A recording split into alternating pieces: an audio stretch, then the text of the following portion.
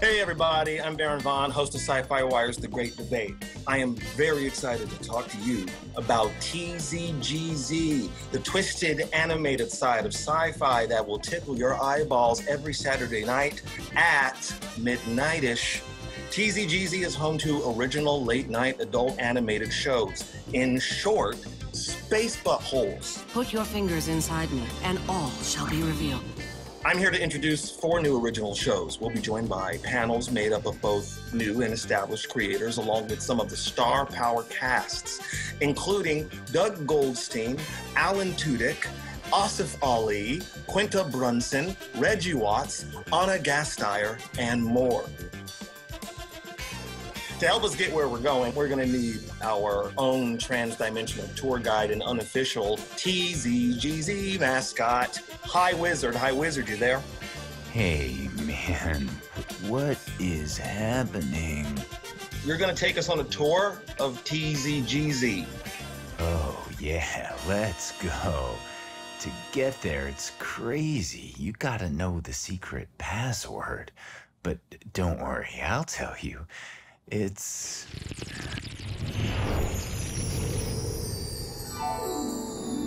Don't be alarmed.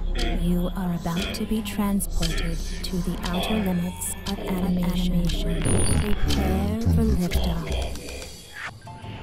Whoa, that was like a roller coaster, only colors in my eyes instead of, you know, like wind in, in my hair.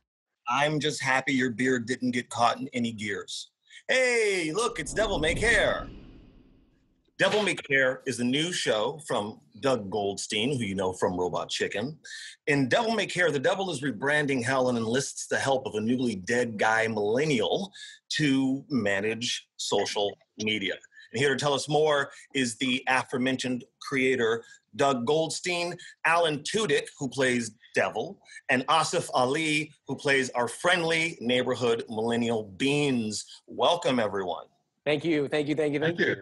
Oh, yeah, the show's great. I have a lot of questions, uh, but before we do that, let's take a quick look.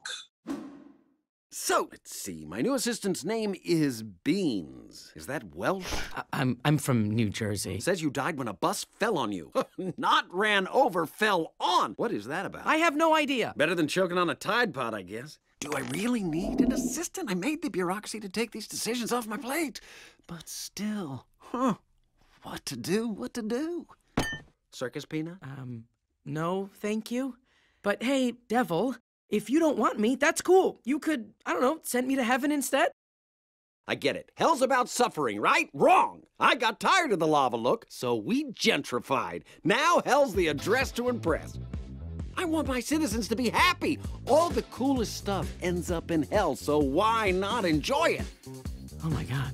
Are those Zooms? You know it, baby. Now, what can you do to plus this place? No pressure. I don't think Gen Z has anything we need. I was a social media manager. We need that! Oh my! Social media is exactly what hell's been missing! It is? I assumed you invented it. No, no! Humans and free will, right?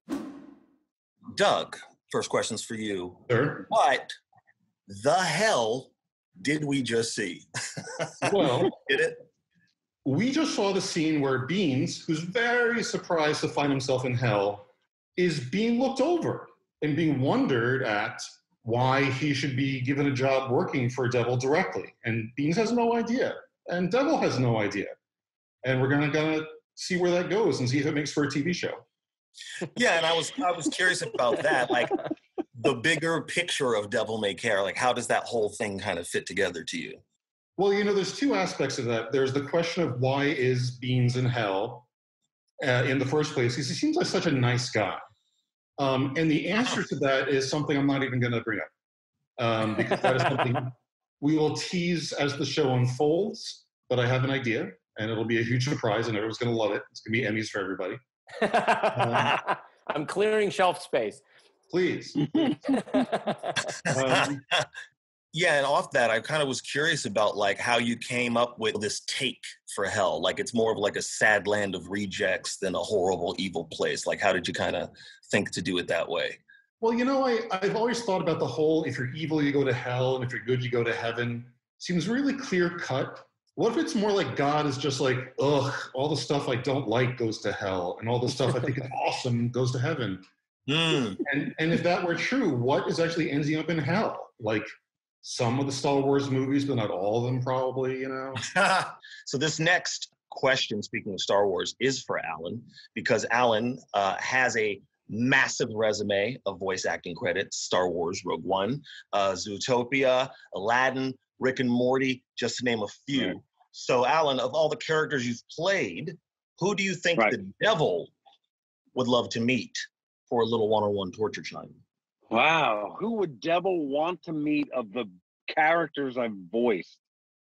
Maybe Heihei from Moana. I don't know. He's a crazy little. So, Asif, your character Beans becomes Devil's right-hand man. What is it about Beans that makes him perfect for this job? And also, were you nervous preparing for this role? Uh, and I mean you, Asif, Yeah. to prepare to become the Devil's right-hand man.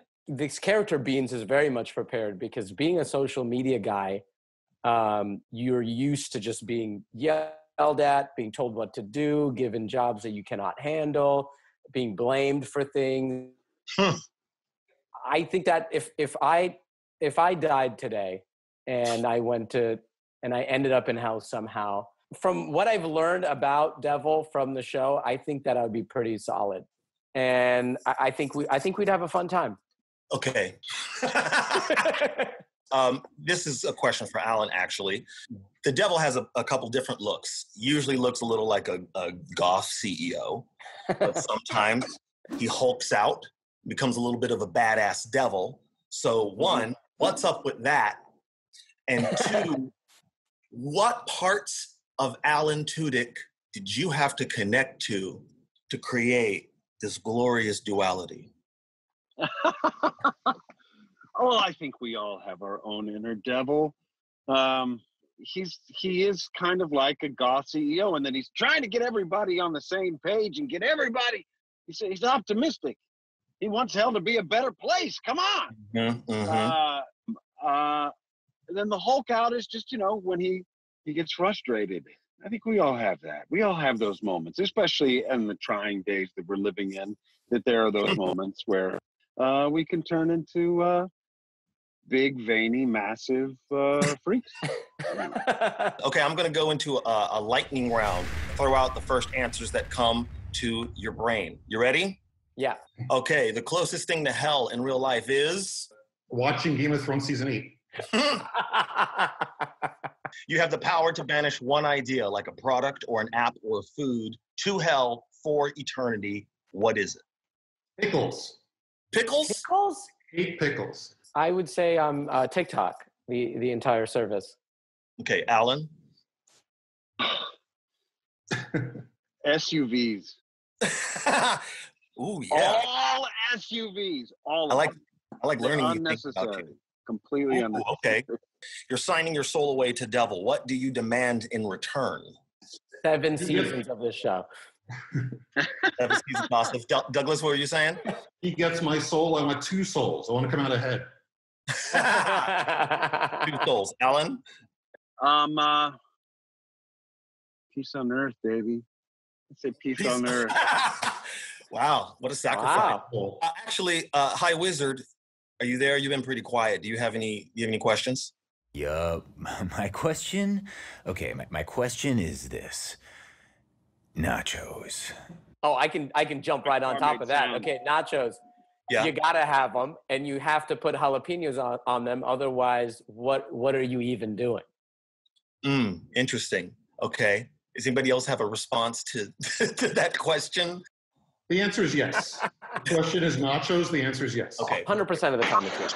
Nachos! Woo! I love me some nachos. What? Sorry to interrupt you there, Baron. Can I call you Bear?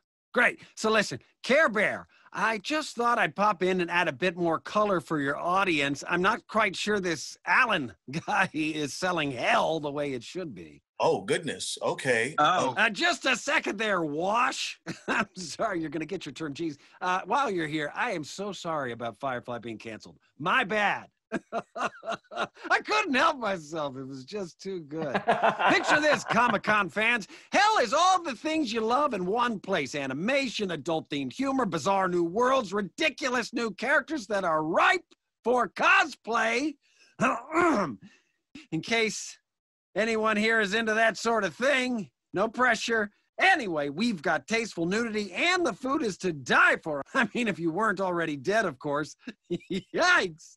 I gotta go. I'm losing signal. The Wi Fi is terrible in hell. Watch Devil May Care. Ha bye. That was very strange. That was very weird. He Very he true. he had me at tasteful nudity. Uh, yes, um, and now I am actually recovered from that. So I'm going to move on. Okay, the High Wizard has used some of his high wizardry to deliver two of you mystery boxes with Yes. special surprises inside. Okay, who has them? You have one. Asif? Okay, don't open them yet. Don't open them. okay. Your job is to feel it and then let everyone know what you think it might be. There's Feel- definitely some sort of some sort of cup. It feels like a cup. like Okay. A bowl or a cup. And then I have like a cloth thing, maybe like a scarf, a Mm, okay. scarf, or maybe like a nice hat. And then Wow. You're, know what the- all you're thinking about is domestic things. You're like, ooh, warmth and tea. Now you can reveal it if you wish. okay, okay, okay, okay, okay. Oh, this is, I have no idea what this is. Oh, this is a cup that says "Not Wow. today, Satan," Mm, and inside of it is a sc- our socks. yeah. Oh, oh, Doug, I know what these are. They're um, They're devil horns. they're devil horns in them. I'm gonna try putting That's them on. cool. I'm just happy that everyone got something that makes them feel really good this hot. looks, Doug. We're like, Yeah, we're It looks really good. for Halloween. Okay, thank you, Devil May Care team. High Wizard, take us away. Stop yelling at me, man. Who are you, my cousin? I don't think so. Oh, you know what? Forget it. Come on, man. We got more places to visit.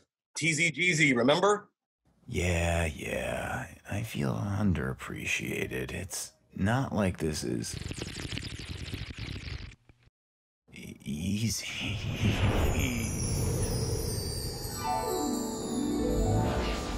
Whoa, I feel like a slinky, but you know, like fuzzier. Playing with a very different brand of slinky. Hey, it's Wild Life, set in a post apocalyptic world where animals are now the ruling class. They bonded together, just trying to live their lives with a sense of normalcy, but it's pretty much impossible in this upside down world. Here with us is creator and executive producer Adam Davies, Claudia O'Doherty, who plays Marnie, a dolphin with a heart of gold who can't wait to kill her first human, and Reggie Watts, Oh, this is going to go down in the annals of panels. who plays Darby, the koala who can make or fix anything and is super into psychedelics. Welcome, everybody. Oh, and me, I'm also in the show. I play Hudson, an overeager fox who leaves a trail of destruction wherever he goes. I say destruction because it depends on who you ask. But before we get into this discussion, let's take a look at Wild Life. Paul? Who's Paul? What? No, Viv, the mall. Ah. Pass.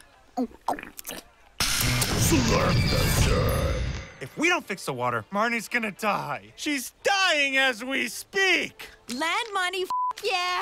She sounds fine to me. Come on, Debbie. Can't you at least just keep an eye on Marnie? Oh. Ugh, I really wish I could, but I promise Billy, he and the boys could practice their nail technique on me. Sorry. Uh, what kind of friend are you, Debbie? I guess the kind of friend who supports Billy's professional dream of opening a first class spa. I'll go. I, I never get to go. Not now, Hudson. Come on, Bamboo. Do us a solid and we'll get you something from the mall. Here's what you're gonna get me. A Takagi X12 Home muscle orbital 360 non-gravitable executive massage chair. In black. Uh, no.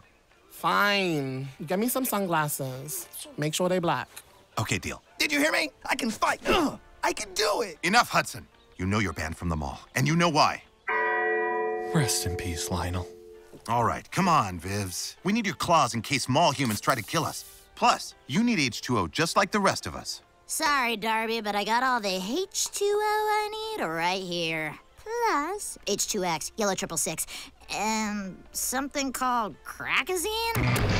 Crackazine! Dear God, what in the? Damn, girl. I'll go. I need more dynamite.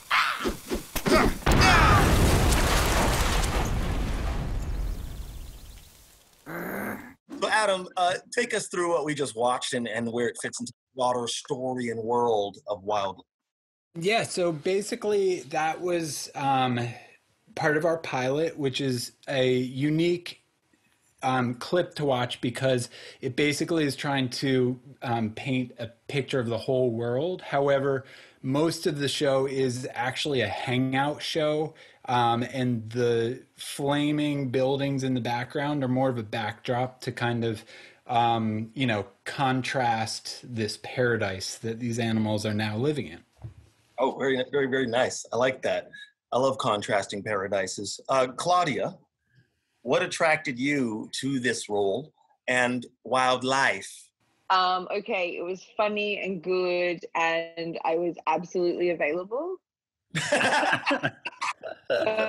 Reggie, you have a character called Darby, who is a toad licking koala that drives a tricked out golf cart. Um, how method did you have to go to portray Darby? Um, the method was just wearing a lot of fur costumes and um, hanging off of uh, trees and stuff like that, and and eating weird things that I find on the ground, and then just practicing driving uh, different models of golf carts because I didn't know which one they were going to use for the show. So, Claudia, um, Marnie has a relentlessly Yeah. positive attitude, even in very, very, very bad situations. Yeah, I was just swimming around my tank, bored out of my skull, when the most amazing thing happened. The water turned to burning acid. Would you consider yourself a Marnie in real life? No. um, but I would say that Okay. I'll expand on that. I mean, she's pretty um she's pretty um insanely optimistic because I guess she's a dolphin. So they- they have a higher energy level than a human anyway. I appreciate Yeah. that. So, Reggie, Darby seems to, well, he seems to love killing humans. Do you think that's more about revenge or survival? You know, I, I think it's I think it's more about survival. I think he's he's pretty uh, happy-go-lucky about things. Um, he's also a little bit of a pragmatist, which helps him be so kind of at ease. And then the psychedelics kind of allows him to understand the interconnectedness of all life. So I don't think there's any animosity necessarily. I just think it's just the situation, and uh, and so the short long answer is survival. Okay. Thank you very much. You're welcome. So, Hi Wizard, do you have any questions about the show? About the show, though. Yeah, so if like the show is about wildlife, then could the wild be making a show about our life? Whoa, jungles. So, no questions? Uh, Not at this time. No. Oof. Okay, now we're going to play Feral Faces. Do your best animal impression, and everyone has to guess what it is. You do not have a choice in this. Okay, Claudia, Adam, you start us out. Oh, that's so easy. Moose. Um, Oh, it's visual. Okay. Yeah. Moose. Is that a moose? Yeah. It, No, it can be got it. visual, it could be it could be audio, it could be all of the above. Right. Claudia. Okay, great. Good. Okay. Meow. That's a real that's actually a very good impression of my parents' cat. Oh, am I not going to reveal it? Hello. what it was supposed to be. We have to throw that answer out. I still think um, you should use this because it's a very good impression. Reggie. Sorry, I got too excited. Um, okay, here we go. This is if the animal were a human, right? Hey, what are you guys doing? Uh, dog. Any dog. Any Yeah. dog. okay, and now uh, and now my turn. huh? Oh. Oh. A goose? A, horn. A goose. A horn. Um, a, a honking goose. Yes. really, I was just doing an impersonation of my grandmother when I would call her, Grandma, huh? Doing a goose. I Yeah. love feral faces. Thank you, everyone. Hi, Wizard. Um, what do you say? It's not just what I say, it's what I physically communicate with my.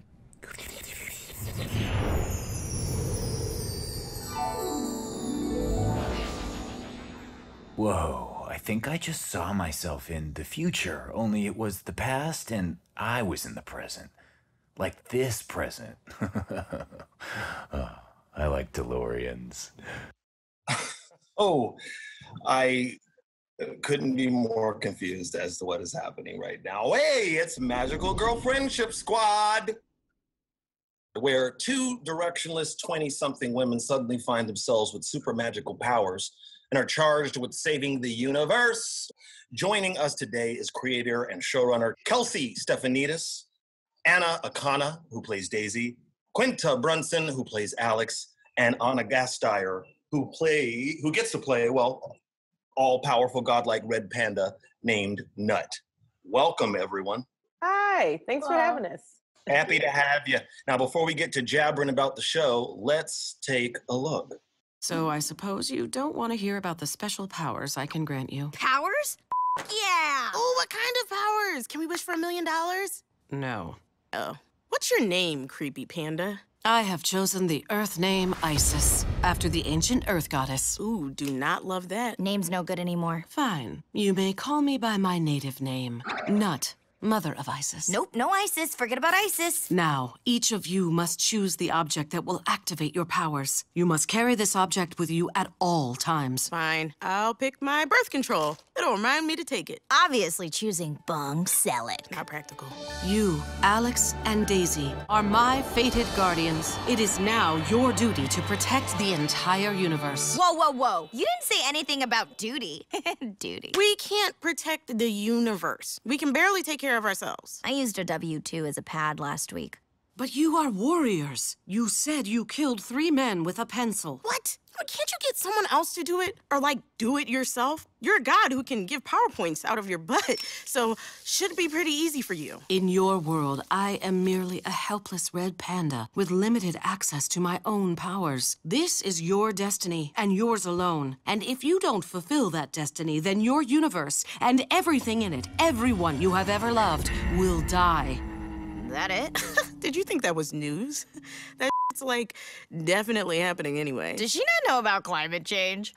Let's just call animal control from the coffee shop. Okay, so Kelsey, um, first question is for you. Where did Daisy and Alex come from in your life? Are they real people, amalgamations? So I think Daisy in particular is definitely an amalgamation of a lot of my friends, both in like personality and in almost also even the way she looks. So I think a lot of that was probably influenced by the dynamic I have with a lot of my friends in a lot of mm. my life and just kind of that friendship, really close friendship dynamic where you're very two very different people, but you really perfectly kind of fit together and complement each other. Mm, puzzle pieces that puzzle each other. I like that. Okay, so this question is for uh, Anna Akana.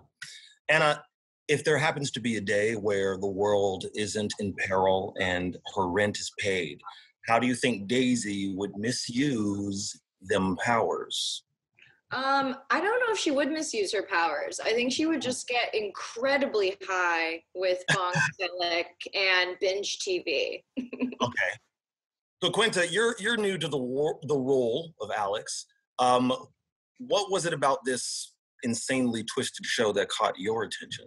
What I loved about it as someone who's also making television is that Kelsey successfully got a superhero story with two um, kick-ass girls as the leads on the screen. Um, I thought it was incredible. I was like, how could I not sign up for this? It's really the kind of stuff I want to watch. And it was kind of positioned as a mix of like Sailor Moon and Broad City. What could be better? I just Yeah. thought it was just fantastic. I feel so proud that I get to be a part of it. because I had no idea what I was in for, and it's just fantastic. It's everything that I imagined and more. Yeah, I'm also excited. Okay, Anna Gasteyer, your resume jam packed with memorable roles, but let us address Red Panda. Yes. you want to sign up for Magical Girl Friendship Squad? Was it the magical butthole? Listen, anytime there's a magical butthole, it's going to be an extra perk. Being able to say the word butthole in a peaceful and universal way, in such a um, consistent way, is going to be an attractive, um, uh, shiny finish. But uh, I have to agree with Quinta that I, I really was really, really excited by um, the idea of this being a female driven story and that it was. Um, and not just like uh, unicorns and rainbows. I sort of love the irony of the title alone, but that the girls are just incredibly authentic and down to earth mm-hmm. and um, conflicted and human. You know, I have a daughter who reads Giant Days, and I have a son who watches, you know, a lot of male anime. So anime. So um, he's more of like a Naruto kid. So it was more just like, what can I find that lives right down the middle um, of the quest orientation and and really cool, funny storytelling at the same time. Oh, that's fantastic. And let's go back to to Kelsey actually on that because this show actually it parodies a lot of different genres and tropes in animation, uh, especially the um, the fight sequences, very anime inspired. But it, it, there's a there's obviously an affection for those tropes. Can you talk about towing the line between parody and sincerity. You know, we're big fans of the magical girl genre and anime in general, and we never want to like throw out the idea that we're making fun of it. What I really think it is, we're kind of taking the magical girl genre story and parodying it by modernizing it, setting it in modern day New York. But then I mm-hmm. think we also use like the magical girl genre to parody like real life in that it is so it's such like an optimistic genre about like usually a bunch of girls saving the world and kind of taking that idea and then like pushing it onto two very like cynical millennial brooklyn based mm-hmm. women kind of really kind of creates like part parody part tribute really mm. Ooh, I love that. Part parody, part tribute. Um, this is a question for Anna Akana. Um, what does it mean to you to live inside of that that kind of circle of part parody, part tribute? Um, I really love it. So I, I, spent a lot of my formidable years in Japan, and I, I, grew up on anime and manga and reading Japanese storytelling. And when I was approached with this show and told it was anime inspired, in reading it, I could see a lot of the tributes. Um, and I also had such a gripe with Sailor Moon as a kid, where I was like, they so long to get changed. The world is gone already, and their outfits are not tactical for fighting. And I love that joke. I actually just got to see the pilot yesterday, and I was crying laughing because I was like, "Yes, there's not enough female adult animation that pokes fun at the over sexualization of female fighters and their ridiculous skimpy outfits." Nope, no way, definitely not. We look like we're playing figure skaters in a porno. Who designed these? I thought they were quite stylish. Okay, um, I wanted to ask uh, Anna Gasteyer another thing. So, Nut chooses two pretty unlikely candidates to act as her actors, uh, yeah. Daisy and, and Alex. So, let's say that you really are a world creating, shape shifting goddess. Who are you enlisting as your protectors in your real life? Honestly, even in the last three weeks, just watching youth culture and continue to to to push um, to push dialogue and language and and and um, conversation because I do think that there is an optimism and a ruthlessness both. I think there's a demand. I mean, look, I have an 18 year old, so like I've learned just even in the last two weeks to change the way I think about so many things. And um, this has been such a weird and challenging year, I think, for everybody. Um, and it's you know challenging couple of years, four years. Um, so it, I, I, think I would, I would pick badass young people. They're they're they're making us talk about everything we need to talk about. Sorry to be earnest. Sorry to go all old lady earnest on you. Oh, that's fantastic. No, there's absolutely nothing wrong with being earnest. Um, you know, go, go wild. It's important to. Yes. All right, hi wizard question time. Do I even bother? Hi, Wizard. Hello.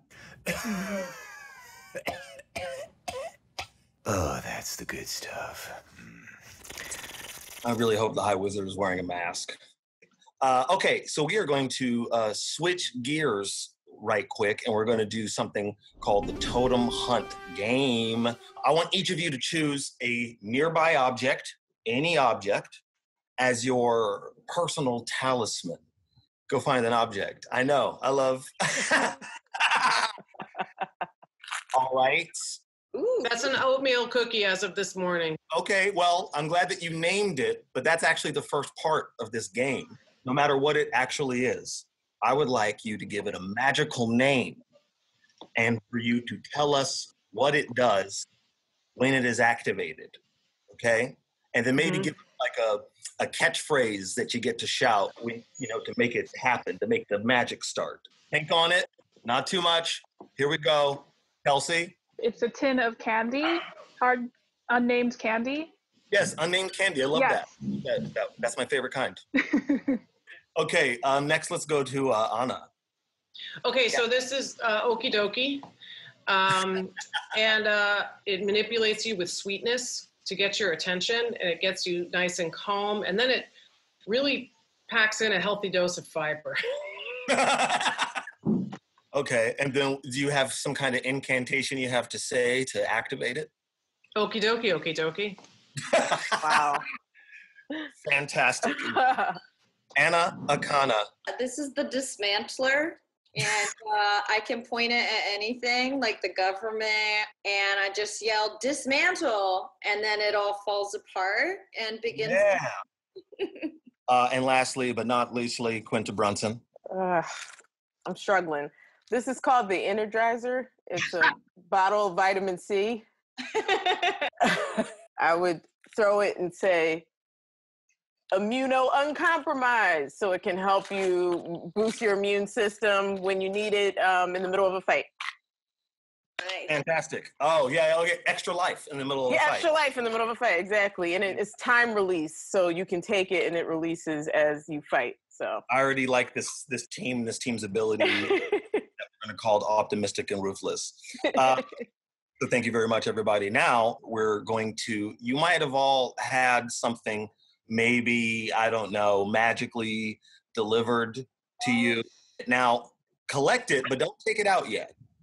So Anna and Quinta, can you reach into your boxes? I've been afraid of this since they said this was coming. I don't like reaching into things. It's furry. This is like a like a toy monkey with Is a it furry? yeah. Is it nut? Is it nut? Is it nut? Is it nut? Is it not? don't. Take it out. Yeah, and you should take it out now. It is not. It's not. Oh, that is really That's cute. adorable. That's Check out- adorable. H- how's the beehole?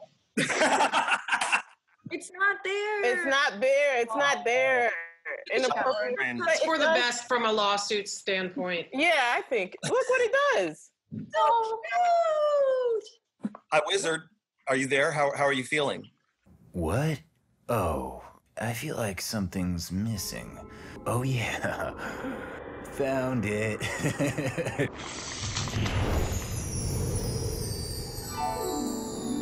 I, I can't taste my soul, man.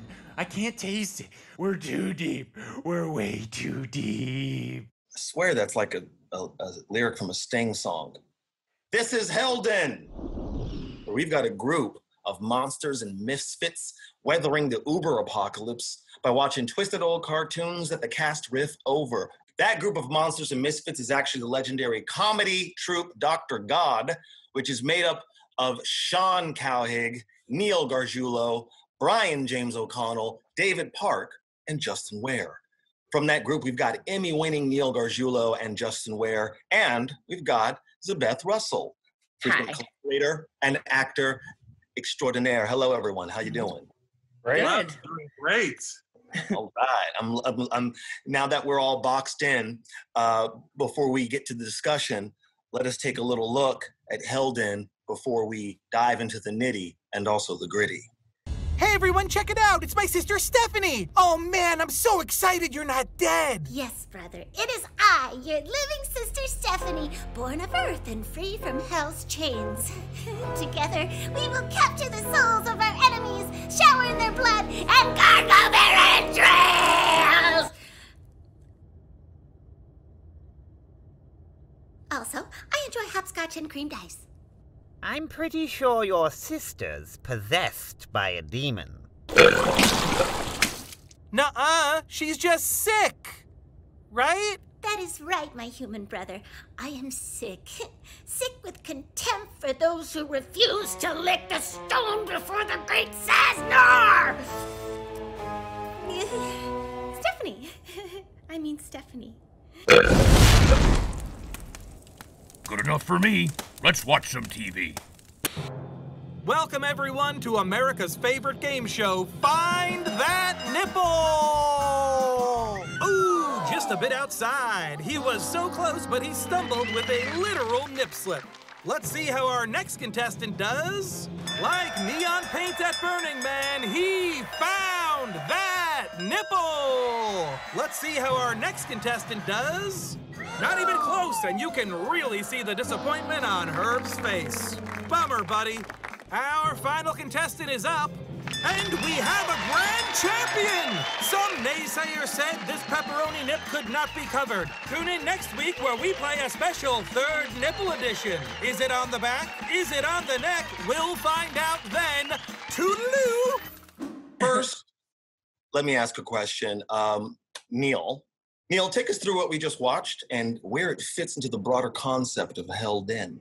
Okay, so what you just watched was the updated look for season two. Because we're working with TZGZ now, we've been able to enhance the animation. We've got great guest stars this season.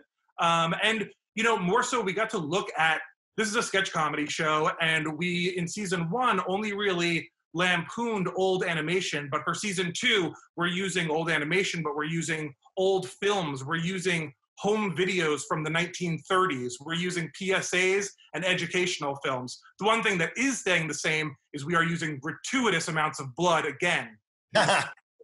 Off that point, that this is season two of Hell Den, where it is now a TZGZ original.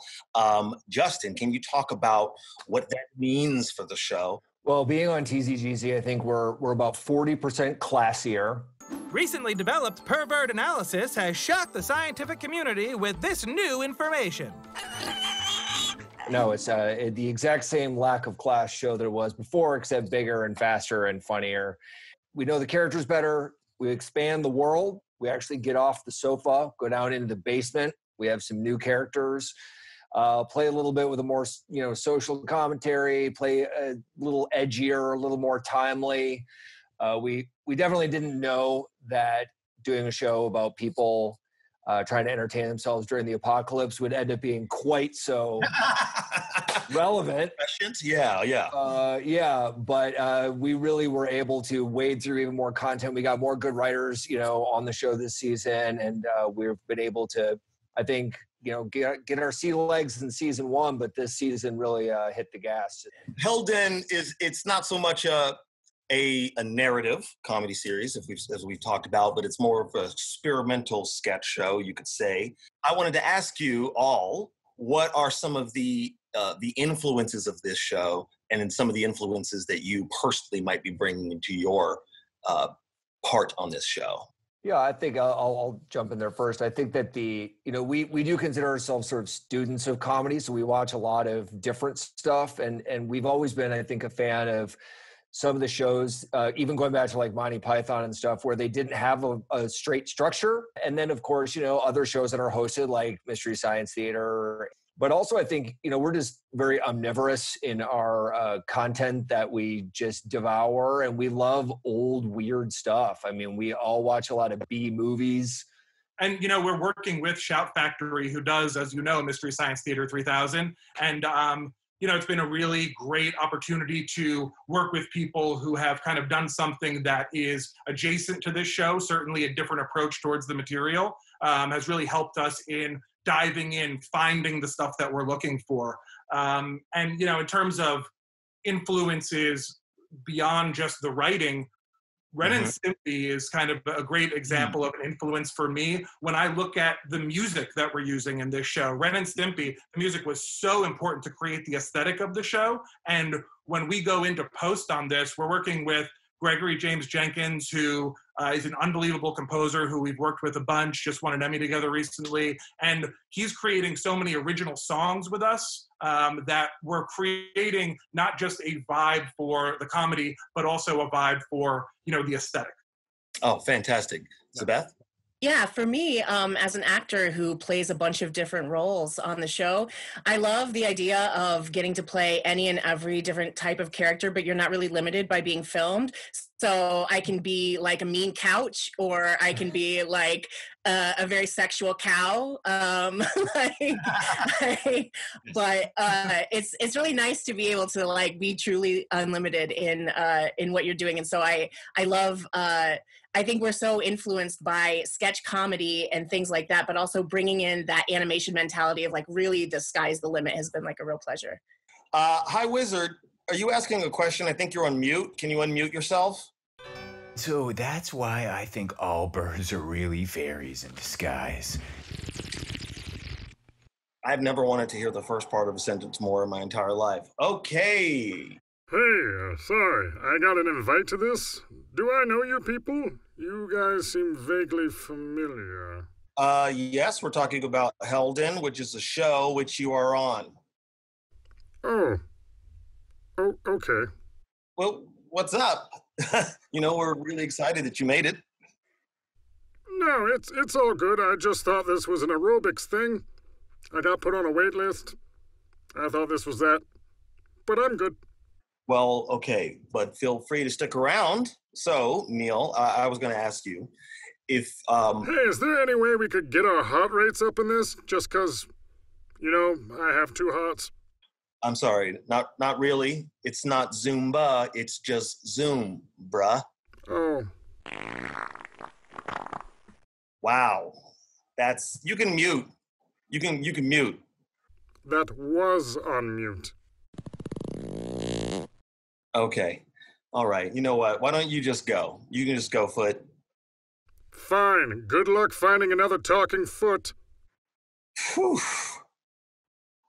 That toe really knows how to jam. Now we're going to play a game called What a Hell. I'm going to share an extreme close up image of a clip from Hell Den, right? And then you all have to guess what the hell we're looking at. Okay, here we go. All right. First, you're looking at the uh, the image. What the hell is that? Mhm. Um, I'm gonna say that this is um, it's a piece of cheese next to a fox. a piece of cheese next to a fox? Yeah, a fox, the animal. Oh. I'm gonna say uh, I was gonna say something very similar that that is the ears of uh, Neil's favorite new character, uh, Randy the werewolf. Wow. Okay, Neil. I believe that is the piece of cheese that is coming out of the ear of Randy the werewolf. I'm almost positive. So it's kind of a combination of what we just said. no, I mean we all We're- nailed it. Clearly, We're definitely right. I guess let's see what the full image is. You think this is a f- joke, Brayden? Well, it's not. This is my life. You will never, ever find someone as good as me again. And you didn't even deserve me. I want you to know that. And you know what else, Brayden? I want you to see this. I want you to see this as it walks out of your life. the dulcet sounds of Brian James O'Connell. Yes, well, it certainly is. That is the most excited I have ever seen Brian James O'Connell ever get into a booth to do that, as if he's been holding on to something his entire life. Mm. And he really, that was his, like, I think he wrote that for someone named Braden in his childhood. Oh, that wrote it. I think it just came out of his soul fully formed. Right. Yeah. Yes. All right, here's another still. Ooh, yes. Any guesses? I have one. Um, it looks like the eye of a fox who's about to eat a piece of cheese. Hmm. Okay. Eye of a fox is about to eat a, eat a piece of cheese. Yes. Okay. Mhm. That to me is we are we are looking down on a toilet seat cover uh, that leads into the underworld. Ooh, Neil. I think I know what it is. I think it is a donut that someone is dunking into a cup of coffee before they eat it, and then a bunch of children come out of that person's coat and they also eat the donuts. Wow. Okay. Um, I, I think you might be right, Neil. Okay, let's let's play the clip.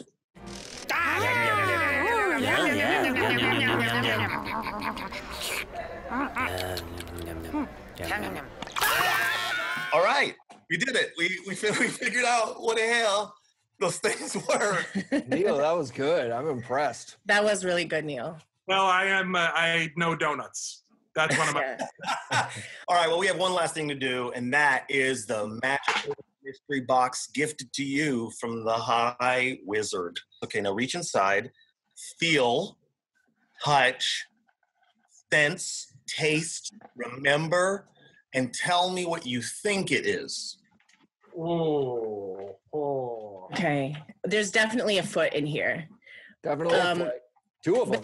There's a couple more things, and I think one is a fox, and the other one is a piece of cheese. I there's a a, a keychain. Perhaps you should pull it out and see what it is, guys. What's what's inside that box? It's a foot. It's a foot. It's a foot. And it's the TV. Oh, the TV. Aww. Oh, very nice. Oh my god. I love that there are two feet so we can Ooh, it works, do kind of. Oh, what's what's going on there, Neil? honestly, I'm just a little emotionally moved by this. This is really sweet, and I got a lot. I got a lot going on on the inside, Baron. Yes. And this is- this is helping bring it out. This is nice. Neil is really the biggest crier of the whole group. I can see that. Uh, well, I'm so glad that these these gifts brought a tear to your eye, and, and luckily not the smell of the feet in themselves. Feet are a metaphor for like solid ground, like earth ground, earth reality. Oh man, I'm freaking out, dude. We gotta go. Looks like we gotta go, gang. We gotta go.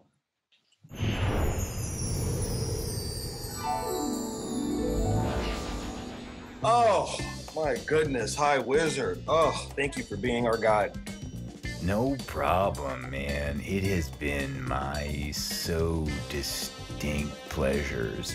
Keep in mind, re entry into Earth is like bumps and waves, and, and you gotta keep your hands inside the rainbow ride at all times, you know? No, but whatever works. So thank you again to all of our guests, and thank you to everyone out there who tagged along.